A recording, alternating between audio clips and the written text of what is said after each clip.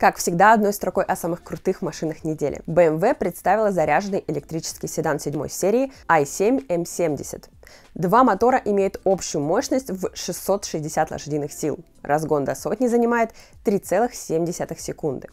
Правда, это все равно меньше и медленнее, чем у конкурентов от Mercedes и Tesla. Китайский бренд Хунци показал второе поколение своего флагманского седана L5. Как и первое поколение, он выполнен в ретро-стиле. Спереди похож на 21-ю Волгу, а сзади на Кадиллак. Про технику ничего не рассказали, но, скорее всего, китайский Аурус имеет под капотом V8, а длиной явно вымахал за 5 метров. Наш дизайнер Никита Чуйко, как всегда, подготовил новые интересные рендеры.